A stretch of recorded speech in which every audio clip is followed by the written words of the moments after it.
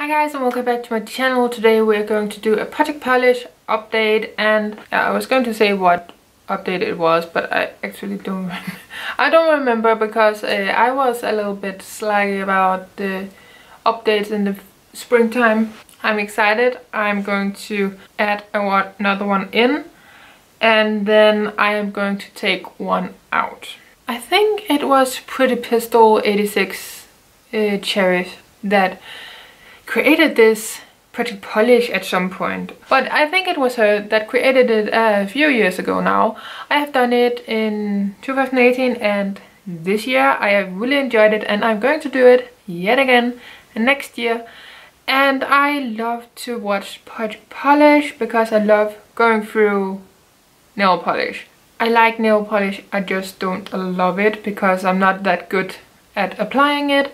I like the look of a nail polish. I did these today.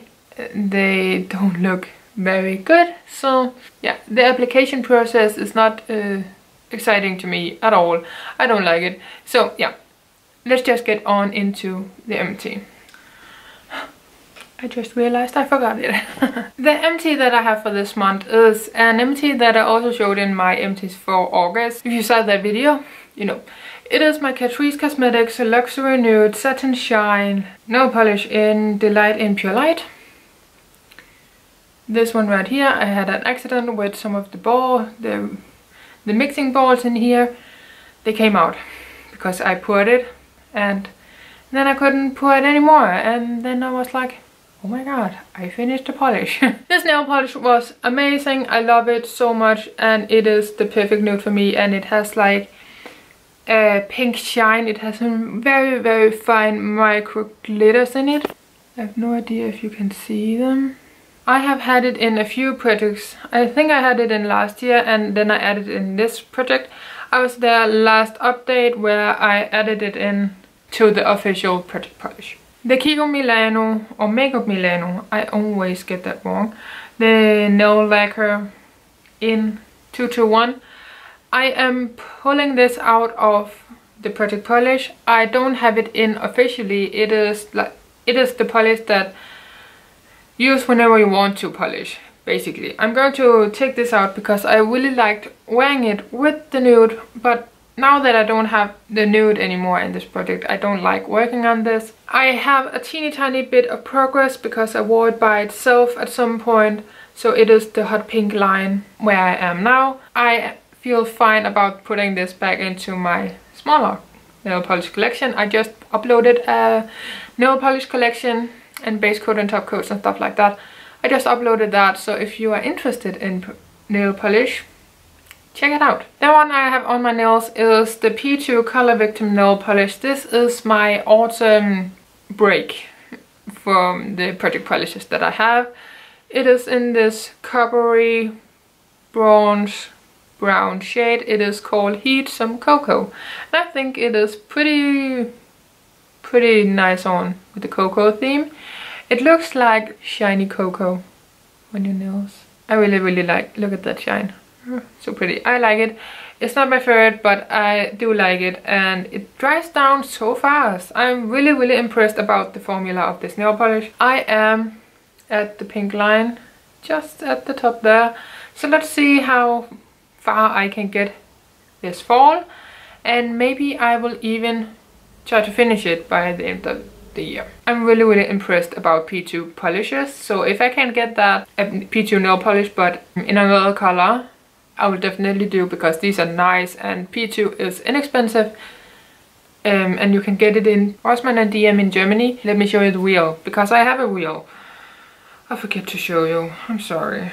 These are the colors that I have had in this year. I finished five polishes so far which I think is great and this was the pink that I pulled out last month and uh, this is the Kiko polish, the Catrice and this is the P2 and now we're going to talk about these two. The most progress I have is my, on my Essie Licorice nail polish in, and in licorice.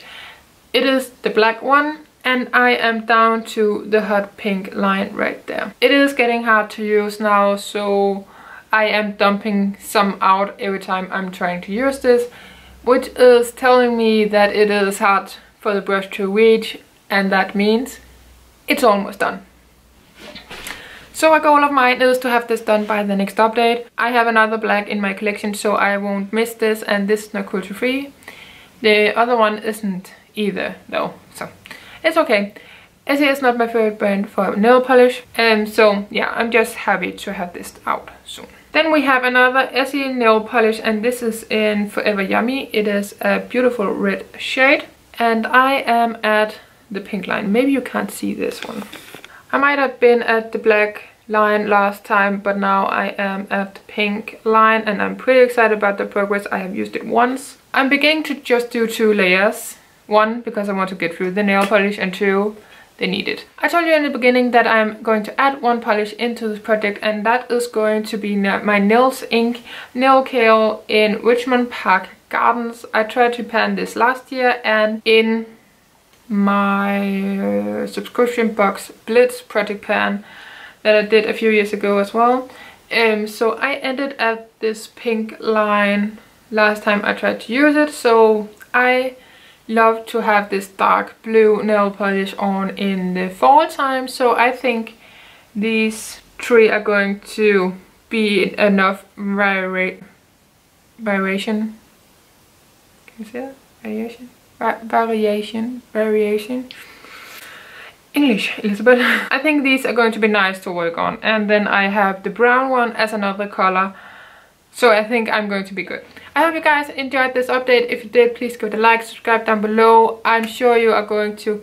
I am sure you follow a lot of people that do Project Polish, but I will link Cherrish down below if you haven't checked out already. I'm sure you do. She's quite big actually. So I hope you guys enjoyed this video and on to my next one. Please take care. Bye.